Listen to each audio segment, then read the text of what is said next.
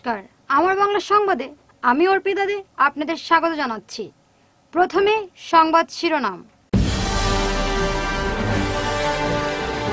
বাগান এলাকায় বিমানবন্দর। প্রতিবাদে সরব যৌথ সংগঠনের কর্মকর্তারা।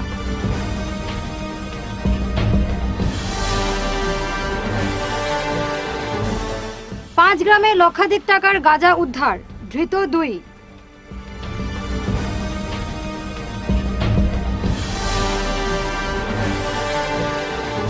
সার সিন্ডিকেট। ধলাইকে করিডোর বানিয়ে অবাধে চলছে সার পাচার।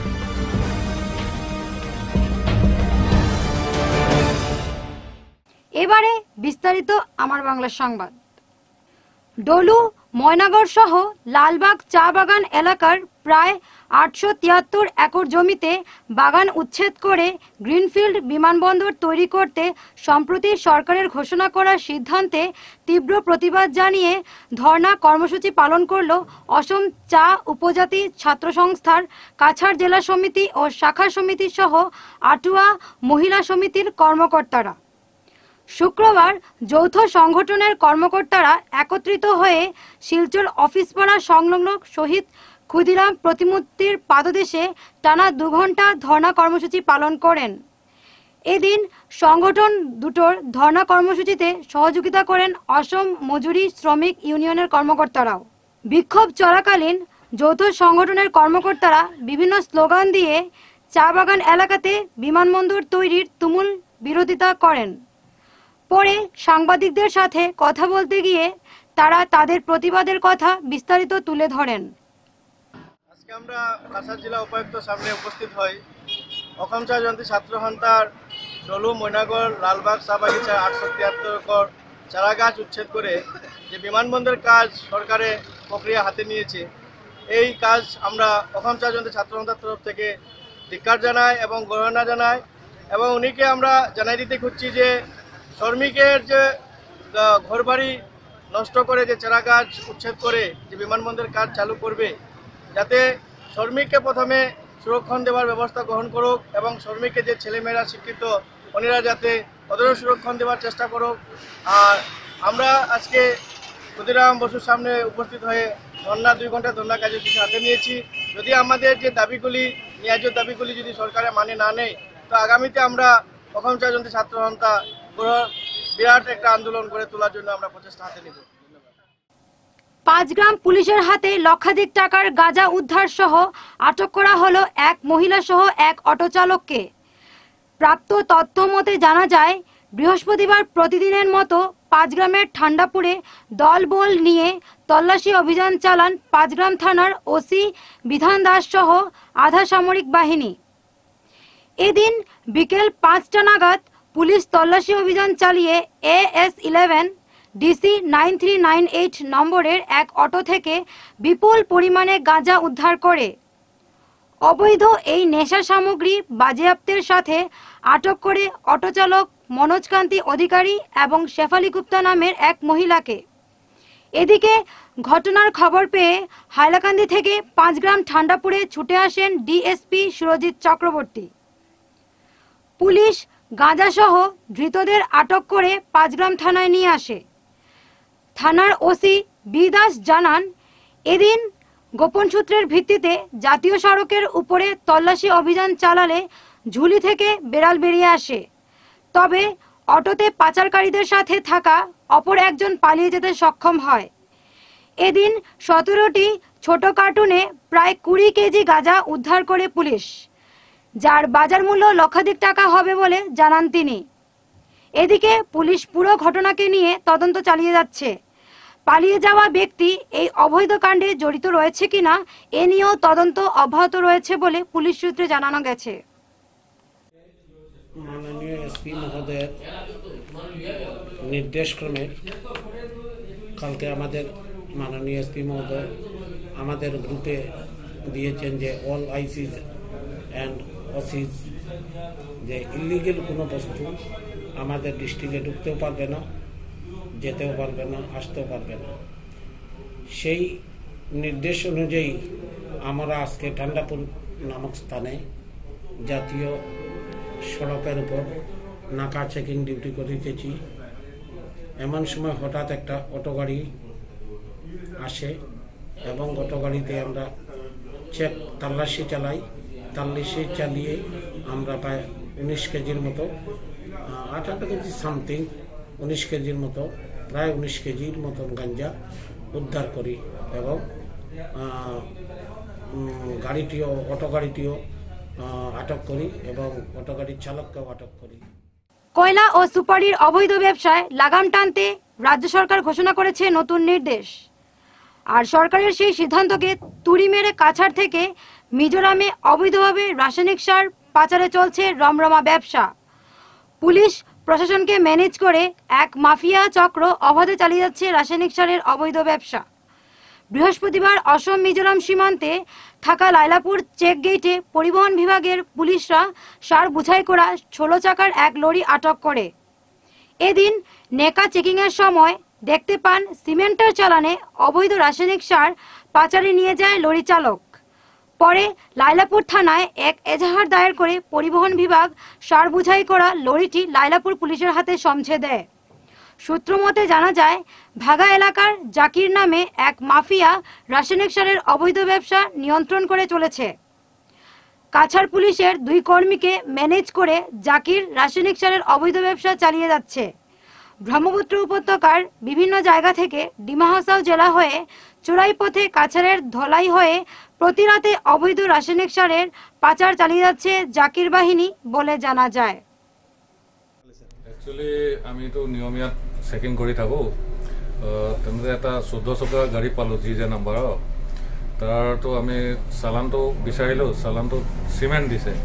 কিন্তু মালটো আমি চালোঁ, এইটো সাৰ পাইছোঁ। আৰু লগালগ আমি লাইলাপুৰ থানাত আমি ইনফৰ্মেশ্যন কৰিছোঁ আৰু এফ আই আৰ কৰি গাড়ীটো তেখেতলোকক অভাৰ কৰি দিছোঁ। ইমানেই স্যাৰ গাড়ীত ওয়েটটো কিমান আছিলে স্যাৰ আণ্ডাৰলোড আছিল আণ্ডাৰলোড কাগজ পত্ৰ চব ঠিক আছে কিন্তু বস্তুটো চালানৰ মতে নাই। থাকিব লাগে চিমেণ্ট আছে সাৰ। ই- ইমানেই কথা। তাৰমানে চিমেণ্টৰ চালানত সাৰ লৈ আহিছে। ঠিক আছে শত বছর অতিক্রান্ত হওয়ার পরও শিলচর সিভিল হাসপাতালে আধুনিক পরিকাঠামো গড়ে তোলা হয়নি। এরই প্রতিবাদে সামিল হয়েছে শিলচরের বহু সংস্থা ও সংগঠন। পাশাপাশি গঠন করা হয় পৃথক সংস্থা শিলচর সিভিল হাসপাতাল আধুনিকীকরণ দাবি কমিটি। তাদের অভিযোগ, এতদ অঞ্চলের রোগীরা আধুনিক চিকিৎসা পরিষেবা থেকে বঞ্চিত। হাসপাতালটির অবস্থা অনেকদিন থেকেই জরাজীর্ণ অবস্থায় রয়েছে।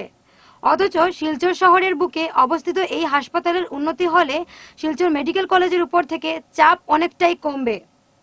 শুক্রবার কমিটির পক্ষ থেকে এক সাংবাদিক সম্মেলনে আয়োজন করে মুখ্য আহ্বায়ক কমল চক্রবর্তী বলেন দু হাজার বিশ সালের নভেম্বরে ডক্টর হিমন্ত বিশ্ব শর্মা স্বাস্থ্যমন্ত্রী হিসাবে সিভিল হাসপাতালের শতবর্ষ উদযাপন অনুষ্ঠানে এসে ঘোষণা করেছিলেন, এই হাসপাতালকে তিনশো শয্যা বিশিষ্ট অত্যাধুনিক হাসপাতালে রূপান্তরিত করা হবে। স্বাস্থ্যমন্ত্রী চলে যাওয়ার পরেই এক সার্ভে টিম এসে এগারো দিন পুরো হাসপাতালে জরিপ করে যায়। তারপর থেকেই গোটা বিষয়টি স্তব্ধ হয়ে থাকে। বিগত সপ্তাহে ডক্টর হিমন্ত বিশ্ব শর্মা শিলচরে এলে দাবি কমিটির এক প্রতিনিধি দল তার সাথে দেখা করে সেই বিষয়টি মনে করিয়ে দেয়। তখন তিনি প্রতিনিধি দলকে আশ্বস্ত করে, তবে এখন অবধি কোনো উদ্যোগ গ্রহণের কথা জানাতে পারেননি বলে ক্ষোভ ব্যক্ত করেন তিনি। কমিটির আরেক কর্মকর্তা হিনালাল ভট্টাচার্য বলেন, তাদের এখন হাসপাতালের বিভিন্ন সমস্যার সমাধান সহ আধুনিকীকরণের দাবিতে আন্দোলনের নামা ছাড়া আর কোনো পথ নেই। তিনশো সজ্জার আধুনিক মানের সিভিল হাসপাতালের দাবি নিয়ে তারা শীঘ্রই জনগণের কাছে যাবেন প্রচার অভিযান চালাতে। পাশাপাশি একটি স্বাক্ষর অভিযানে নামবেন বলেও জানান তিনি। এদিনের সাংবাদিক সম্মেলনে অন্যান্যদের মধ্যে উপস্থিত ছিলেন কৃষাণু ভট্টাচার্য, নির্মল দাস যুগ্ম আহ্বায়ক হানিফ আহমেদ বরভুইয়া প্রমুখ। আপনি যেমন, আপনি যদি ম্যালেরিয়া ডিপার্টমেন্টে যান, আর কি দেখবেন ম্যালেরিয়া ডিপার্টমেন্টের ভিতরে প্রচুর মশা, আসলে মশার উৎপত্তিটা দেখলাম যে প্রচুর পরিমাণে জঙ্গল এবং ড্রেনটা কাঁচা ড্রেন। যাই হোক, আমরা তখন পরিষ্কার শুরু করলাম আর। এই পরিষ্কার করতে করতেই তারপর দেখলাম যে সিভিল হাসপাতালে যে পাইপলাইন আছে, যেদিক দিয়ে জল সরবরাহ করা হয় আর কি, সেই জল সরবরাহ করার অবস্থাটা ভীষণ শোচনীয়। তখন আমরা পাশে পিএইচি ডিপার্টমেন্টের কাছে যাই। পিএইচি ডিপার্টমেন্ট তখন এক লাখ ষাট হাজার টাকার একটা দিলেন যে এই বাজেট দিলেন যে এটা যদি করে দিতে পারেন এস্টিমেট দিলেন আর কি, যেটা করে দিতে পারে, তাহলে এটা ঠিক করা যাবে। কিন্তু আমাদের সঙ্গে জেলা শাসক চেষ্টা করে আমরা জেলা শাসকের সঙ্গে দেখা করতে পারি, মহোদয়ের সঙ্গে দেখা করতে পারিনি। এবং আমরা এই বিষয়টাকে নিয়ে এখানকার লোকাল যে এমএলএ আছে, দীপায়ন চক্রবর্তী, তার সঙ্গে দেখা করতে চেয়েছি। উনিও আমাদের সঙ্গে দেখা করার এখন পর্যন্ত সময় দেননি। এগুলো ম্যালেরিয়া ডিপার্টমেন্টের পেছনে যে সিভিল হসপিটালের ওয়ালটা আছে মানে বাউন্ডারিটা আছে, সেই বাউন্ডারিটাকে এনক্রোচ করে রেখেছে। কারা জানি এনক্রোচ করে রেখেছে মানে পিছনে যে বিল্ডিংয়ের মানুষরা যারা আছে। এবং আপনার পরিষ্কার করার পরও পিছনে যে বিল্ডিংয়ে যে মানুষরা আছে, তারা অনবরত এখনও সিভিল হাসপাতালে তারা ঘরের নোংরাগুলো ফেলে এই বিষয় নিয়েও আমরা কথা বলেছিলাম, আমরা চিঠি দিয়েছিলাম। আমরা চিঠি দিয়েছিলাম, কিন্তু ওই যে বললাম, এই বিষয় নিয়ে যে জেলা শাসকের সঙ্গে কথা বলব, মহোদয়ের সঙ্গে কথা বলব, সেরকম সুযোগ উনি আমাদের দিচ্ছেন না। যাই হোক, আমরা বড় আন্দোলনের পেছনে আমরা এখন যাচ্ছি। প্রজাতন্ত্র দিবসে জনগণের উদ্দেশ্যে ভুয়ো প্রতিশ্রুতি এবং বাস্তবে বিকাশবিহীন বরখোলা বিধানসভা কেন্দ্র বলে আক্ষেপ ব্যক্ত করলেন বিধায়ক মিসবাহুল লস্কর। শুক্রবার সাংবাদিকদের সাথে কথা বলতে গিয়ে তিনি বলেন বরখোলা অন্দরমহলে গ্রামোন্নয়নে দুর্নীতির ধামাচাপা দিতে খোদ মাঠে নেমেছে সাংসদ ডক্টর রাজদীপ রায় সহ বিজেপির কর্মকর্তারা। ইদানিংকালে গ্রামোন্নয়নের সিদ্ধান্তে নিতে জনগণের নির্বাচিত বিধায়ককে ঘুমের ঘরে রেখে অরাজকতা ও দুর্নীতির ধামাচাপা দিতে ব্যস্ত বিজেপি দলের কর্মকর্তারা বলে ক্ষোভ ব্যক্ত করেন বরখোলার বিধায়ক। সরকারের টাকা নেই। যার জন্য গ্রাম অঞ্চলের আহ, আহ, উন্নয়নটা একটু স্তব্ধ অবস্থায় শব্দ বা একদম স্লোলি গতিতে চলছে। হ্যাঁ স্লো গতিতে। তো এই ব্যাপারটাকে পরিবর্তন করতে হবে যেভাবে হোক। আগামী যে যেটা বাজেট সেশন আছে সেই সেশনে আমরা এই ব্যাপারে তুলে ধরবো এখানে। সমস্যা অনেক আছে যেমন নদী ভাঙ্গনের অবস্থা বরখলা বাজারের অবস্থা দেখলে ভাববেন আমি যেমন দেখে ইলেকশনের সময় দেখেছি। এরপরে আহ, ইয়ে আমি বিধায়ক হিসেবে আমি ডিপার্টমেন্টকে বলেছি যে তোমরা এস্টিমেট পাঠাও। ওই মন্ত্রীকেও বলেছি যে দেখো ভাই এই একটা নদী ভাঙ্গন আছে এটাকে ব্যবস্থা করা যায়। এটা তো আমরা চেষ্টা করছি দেখা যাক কিন্তু সরকারের তো তেমন কোনো নয়। কারণ সেই স্বাধীনতা মানে আমার ছাব্বিশে জানুয়ারি যে মন্ত্রী এসেছিলেন এখানে যে বক্তব্য রেখেছে উনি ব্রহ্মপুত্র উপত্যকায় কি কি উন্নয়ন হয়েছে সেটার ফিরিস্তি দিয়েছে আমাদের বরাকের কোনো কথা নেই। হ্যাঁ এটাই আমাদেরকে দেওয়া হয় না। গত বাজেটে আমাদেরকে দেওয়া হয়েছে একটা চিড়িয়াখানা। তো এদিক আমরা তো আছি চিড়িয়াখানার মতো বরাকবেলিটা তো এখানে আর চিড়িয়াখানার দরকার নাই, আমরা দরকার রাস্তাঘাটের যে করলে, যেটা করলে আমরা ইকোনমিক ডেভেলপমেন্ট হয়, কারণ দশটি কেন্দ্রীয় ট্রেড ইউনিয়নের যৌথ মঞ্চ ও সর্বভারতীয় স্বাধীন বিভিন্ন ফেডারেশন এবং অ্যাসোসিয়েশনের আহ্বানে কেন্দ্রীয় সরকারের জনবিরোধী নীতি প্রত্যাহার সহ তেরো দফা দাবির ভিত্তিতে আগামী বুধ ও বৃহস্পতিবার অর্থাৎ তেইশ ও চব্বিশ ফেব্রুয়ারি দেশব্যাপী দুদিনের সাধারণ ধর্মঘটের ডাক দিয়েছে CITU AITUC AICCTU AIUTUC TUCC NTUI AAMSU IWTCC TUCC Cachar জেলা কমিটি সহ বেশ কয়েকটি সংগঠন। শুক্রবার এক সাংবাদিক সম্মেলন করে এই কথা জানান সংগঠনের কর্মকর্তারা। এদিনের সাংবাদিক সম্মেলন উপস্থিত ছিলেন সমীরণ আচার্য, লোকনাথ দেবরায় সুব্রত নাথ সহ অনেকে। আমরা সারা দেশের বিভিন্ন পাঁচশোটি কৃষক সংগঠন, আমরা সারা ভারত কৃষক সভা, এই ধর্মঘটে সক্রিয়ভাবে সামিল এবং আমরা যেটা লক্ষ্য করছি, বর্তমান কেন্দ্রীয় সরকার সম্পূর্ণ অন্যায়ভাবে, অযৌক্তিকভাবে শ্রমিক কৃষকের বিরুদ্ধে নীতি ঘোষণা করছেন এবং প্রতিটা নীতি বিগত লকডাউন পিরিয়ড থেকে দেখা যাচ্ছে যে যে নীতি এবং যে বিল পাশ করছে, প্রতিটি বিলেই শ্রমিকের বিপক্ষে, কৃষকের বিপক্ষে এবং সেটা আজকে প্রমাণিত হয়েছে, সারা দেশের কৃষকরা দীর্ঘ এক বছর আন্দোলন চালিয়ে যাচ্ছে এবং আগামী দিনে সেই যে মোদী সরকার যে কৃষকদের যে দাবি পূরণ করার জন্য প্রতিশ্রুতি দিয়েছিল, সেই প্রতিশ্রুতি পূরণ না হলে আবার আন্দোলন শুরু করা হবে। তাই আমরা আগামী তেইশ, চব্বিশ ফেব্রুয়ারি যে ধর্মঘট হতে চলেছে, সেই ধর্মঘটের যে দাবিগুলি হচ্ছে, প্রতিটি দাবি মানুষের লগে সম্পর্ক আছে। শ্রমিক কৃষকের পাশাপাশি যারা সাধারণ মানুষ রয়েছে, সাধারণ মানুষের দাবিও সেই দাবিতে রয়েছে, যেমন প্রাইভেটেশন যেটা সরকার প্রতিনিয়ত ব্যাংক এলআইসি বিমা সব প্রাইভেট করতে যাচ্ছে এবং বিভিন্ন যে বেকারদের কাজ নেই এবং শ্রমিকরা যে ক- শ্রম কোড, যে শ্রমিক আইনগুলো পরিবর্তন করে দেওয়া হচ্ছে, ফলে যে দাবিগুলি হচ্ছে সত্যি দাবি, সাধারণ মানুষের দাবি। তাই আমরা সাধারণ মানুষের কাছে আবেদন করছি, আহ্বান করছি যে আগামী দিনে ধর্মঘটে আপনারাও সামিল হন। এবং ঐক্যবদ্ধভাবে সেই সরকারের বিরুদ্ধে গণতান্ত্রিকভাবে গণ গণ আন্দোলন তৈরি না করতে পারলে তার কোনো এক বছরের কোলের শিশুপুত্রকে সঙ্গে নিয়ে নিজের ভাগ্নের সঙ্গে পালালেন মামি। ঘটনাটি ঘটেছে কচুরদলম চতুর্থখণ্ড গ্রামে গত সোমবার। পরদিন স্ত্রী অর্চনা বেগম সহ এক বছরের শিশুপুত্রের নিখোঁজ সংক্রান্ত এজাহার কচুরদলম থানায় এক এজাহার দায়ের করেন কচুরদলম চতুর্থ খণ্ড গ্রামের মিজাজুর রহমান বরভুইয়া। শিলচর ঘুঙ্গুর থানা এলাকার সাবাসপুর গ্রামের মতিবুর রহমান লস্করের ছেলে ভাগ্নে জাভেদ হোসেন লস্করি তার স্ত্রী অর্চনা বেগমকে নিয়ে পালিয়ে গেছে বলে সন্দেহ প্রকাশ করেন মিজাজুর। এদিকে শুক্রবার বিষয়টি সংবাদ মাধ্যমের কাছে তুলে ধরে মিজাজুর রহমান বরভুইয়া বলেন দু হাজার আঠারো সালে চার বছর আগে পার্শ্ববর্তী কচুরদরম দ্বিতীয় খণ্ড গ্রামের কুতুবুদ্দিন বড়ভুইয়ার তিন নম্বর মেয়ে অর্চনা বেগম বড়ভুইয়ার সঙ্গে সামাজিক মতে তার বিবাহ হয়। এতে অর্চনার গর্ভে এক কন্যা ও এক ছেলে সন্তানের জন্ম হয়। এদিকে নিজের আপন বড় বোনের ছেলে সাবাসপুরের মতিবুর রহমান লস্করের পুত্র জাভেদ হোসেন লস্কর মামার বাড়িতে আসা যাওয়া করে সবসময়। এই অবস্থায় গত সোমবারও জাভেদ তাদের বাড়িতে আসে। এবং নিজের মামি ও শিশুপুত্রটিকে নিয়ে পালিয়ে যায় বলে অভিযোগ করেন মিজাজুর। আমার বড় বোনের ছেলে জাভেদ আহমদ বড়ভাইয়া সাব্বাসপুর তার বাড়ি। আমার বোন মারা যাওয়ার পরে তারে আমি আনি ফালিছি আর ফালা সত্ত্বে তো বাইকনা ঘর আছে, এটা তো আর কোনো অসুবিধা নাই। তখন ওটা করি করিয়া তখন সে বড় হইল।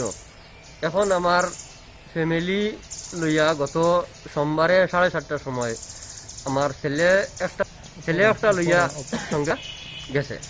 সাড়ে সাতটার সময়। মঙ্গলবারে বারোটার সময় এফআইআর করছি। এফআইআর কোনো খবর পাইছি না। আর পুলিশে কোনো তল্লাশি করছেন না। নিজে যা তা করছি এখন তো আর পারা যান না। লাগিয়া তখন বাচ্চার লাগিয়া বেটির লাগিয়া আমার মা বাবা খান্দা কুটা করতা এর কারণে আমি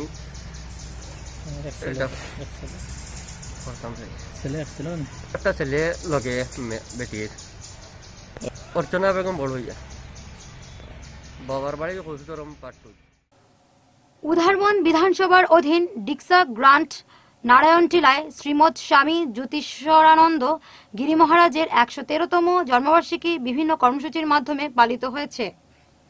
সেই সঙ্গে জয়পুর শাখার প্রতিষ্ঠা বার্ষিকী উপলক্ষে নগর কীর্তন গুরুপূজা সাধু ভাণ্ডারা, বিশ্বশান্তি, গীতাযজ্ঞ ও সনাতন ধর্মে সম্মেলন অনুষ্ঠিত হয়।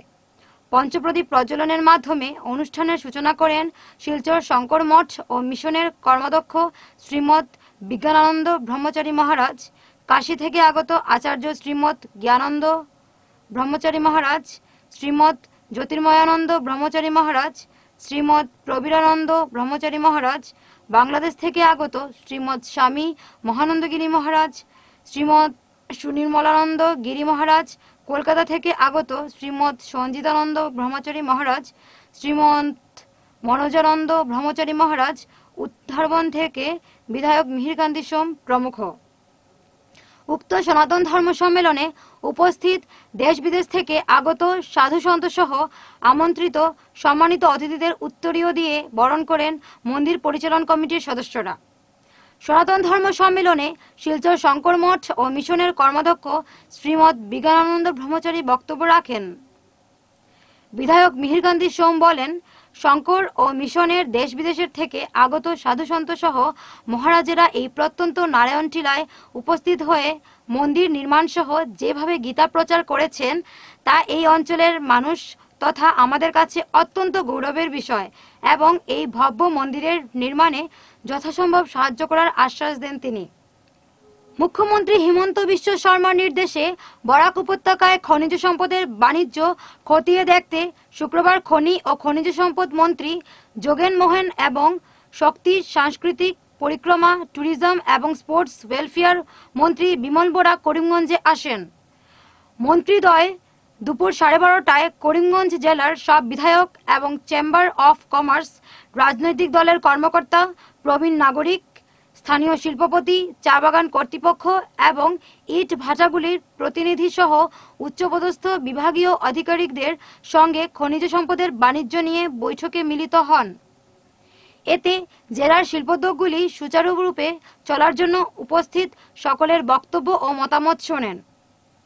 তারা দিশপুর ফিরে প্রতিবেদন মুখ্যমন্ত্রীর কাছে জমা দেবেন এবং সেই অনুসারে রাজ্য সরকারের পক্ষ থেকে সঠিক পদক্ষেপ গ্রহণ করা হবে বলে জানান। আমাৰ চৰকাৰ মুখ্যমন্ত্ৰী ডক্টৰ হিমন্ত বিশ্ব শৰ্মা ডাঙৰীয়াই আমাক কিছু ইয়াৰ সমস্যাৰ বুজ ল'বলৈ পঠিয়াইছিল। আমি আজি জিলা উপায়ুক্তৰ কাৰ্যালয়ত ইয়াত যিখিনি সমস্যা চলি আছে, এই সমস্যাখিনিৰ সন্দৰ্ভত আমি বিভিন্ন ষ্টেক হোল্ডাৰ পৰা আমি মতামত লৈছোঁ। আৰু আমি ইয়াতে যিহেতু এটা চৰকাৰী প্ৰগ্ৰেমত আহিছোঁ, তথাপিতো আমি যিহেতু আমি এটা দলৰ প্ৰতিনিধি কৰি আছোঁ সেই দলৰ কাৰ্যালয় বা কৰ্মীসকলক লগ কৰাটো আমাৰ দায়িত্ব আছে। আমি সেই কথাতে আমি মাত্ৰ দেখা দি আপোনালোকৰ কাৰ্যালয়ত আমি উপস্থিত হ'লোঁ আমি চবকে পৰিচয় হ'লোঁ। আমি আকৌ পাছৰ সময়ত আহিম সন্মুখত দুই তিনিটা কাম আহি আছে। আমাৰ মিউনিচিপাল ইলেকশ্যন আমি ভাবোঁ যে এই কৰিমগঞ্জত ইয়াতে আমি মিউনিচিপালত হাণ্ড্ৰেড পাৰ্চেণ্ট জয়ী হ'ব লাগিব নাই? তাৰ কাৰণে যি যোজনা আছে? যোজনাটোৰে কওক আপোনালোকে। হয়তো মাৰ্চৰ দহ তাৰিখে আগে ইলেকশ্যন হৈ যাব। দহ তাৰিখৰ আগে ইলেকশ্যনটো হৈ যাব মাৰ্চৰ। ফেব্ৰুৱাৰীতে আমাৰ এইটো ডিক্লেয়াৰ হ'বই। পদত কণ্ডাক্ট লাগি যাব। তাৰ আগত কি আছে? টাইট আনটাইট ফাণ্ড যি আছে এইকেইদিনতে দহ দিনৰ ভিতৰতে এইবিলাক ইমপ্লিমেণ্ট কৰক। সহযোগ মিলি চলি আছে এইটো এটা দলৰ এটা দলটো শক্তিশালী কৰিবৰ কাৰণে। আমাৰ বুথ লেভেল যাব লাগে সহযোগ নিধি তাতে কাৰ্যক্ৰম কৰিব বুলি ভাবিছোঁ আৰু এই ৰেভিনিউ এটা সমস্যা আছে। মোক কৈছে মই ৰেভিনিউ মন্ত্ৰী হিচাপে আপোনালোকৰ বিজেপি কাৰ্যালয়ৰ কাৰণে এটা মাটি এটা প্ৰভিজন কৰিছে। লুয়াইপুয়া এলাকার করিখাই গ্রামের লাগোয়া লঙ্গাই নদীর তীরবর্তী বিভিন্ন ঘাটে অবৈধ উপায়ে মোটর মেশিন লাগিয়ে বালুর রমরমা ব্যবসা ও মহাল চলছে বলে সম্প্রতি বিভিন্ন গণমাধ্যমে যে খবর প্রকাশিত হয়েছে, তা সম্পূর্ণ সঠিক নয় বলে জানালেন দায়িত্বপ্রাপ্ত মহলদার সহ অন্যান্যরা। শুক্রবার লোয়ারপুয়ায় এক সাংবাদিক সম্মেলন ডেকে পুরো বিষয় নিয়ে মুখ খুলেন ভারপ্রাপ্ত মহলদার সহ বালুর ডাম্পের মালিকরা। তাদের কথায়, এ এলাকার বাইরে অবৈধ মহাল থাকতে পারে, তবে করিখাই এলাকায় চলা বালুর মহলটি সম্পূর্ণ বৈধ। বন বিভাগের সহযোগিতায় সরকারি রাজস্ব জমা দিয়ে মহলটি চলছে। গত দুদিনের অল্প কিছুটা বৃষ্টিতে লুয়াইপুয়া করিখাই গ্রামের রাস্তাটা কিছুটা অংশের ড্রেন না থাকায় জমা জলের কাদা হয়ে যায়। এতে স্বাভাবিকভাবে স্থানীয় জনগণকে দুর্ভোগের শিকার হতে হয়। পরে ভুক্তভোগী জনগণ সংবাদ মাধ্যম ডেকে তাদের পঞ্জীভূত ক্ষোভ উগরে দেন। এতে পুরো মহলটিকে দুর্ভাগ্যবশত অবৈধ বলে আখ্যায়িত করে বসেন স্থানীয় একাংশ জনগণ। এ ব্যাপারে দায়িত্বপ্রাপ্ত মহলদার অনন্ত কুমার নাথ আরও বলেন, কয়েক বছর ধরে এখানে সরকারিভাবে বৈধ মহাল চলে আসছে।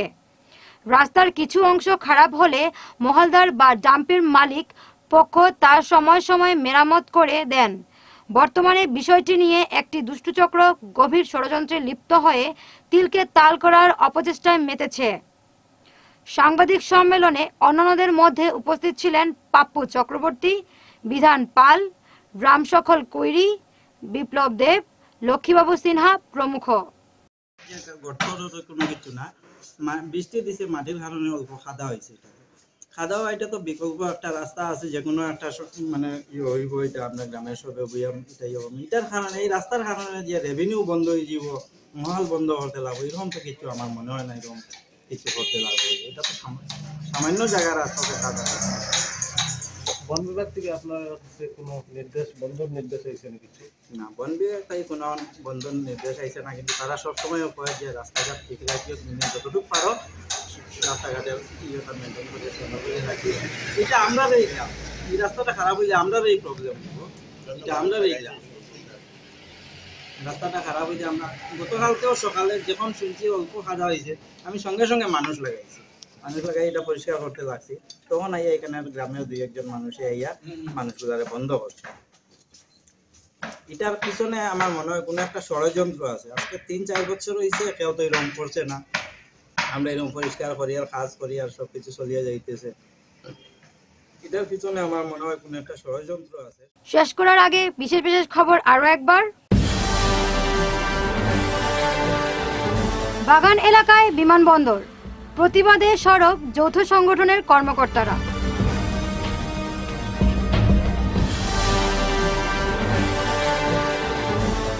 পাঁচ গ্রামে লক্ষাধিক টাকার গাঁজা উদ্ধার, ধৃত দুই।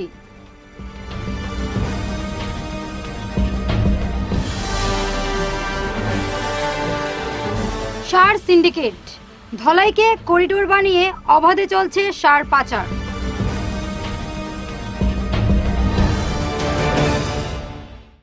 এখনকার মতো আমার বাংলা সংবাদ এ পর্যন্তই। নমস্কার।